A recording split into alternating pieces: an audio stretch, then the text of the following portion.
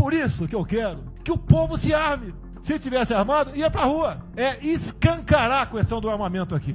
Eu quero todo mundo armado. Ah, cara, quem fala de eu não sou coveiro, tá vendo? O Estado não tem como zelar de todo mundo, não. Antes de qualquer outra coisa, convocar o meu povo justamente para um grande mutirão cívico, para um mutirão nacional contra a fome.